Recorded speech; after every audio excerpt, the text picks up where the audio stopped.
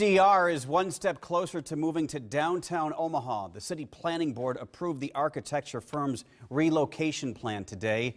The decision adds fuel to the debate between development and history. HDR would take over the lot northwest of 11th and Douglas, where concert goers park their cars to attend events at the Holland Center. People who live in the older buildings nearby fear the next step is demolition.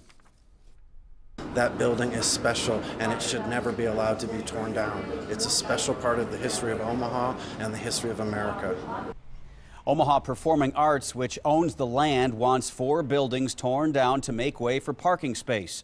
The mayor is also involved in the process. A woman who survived a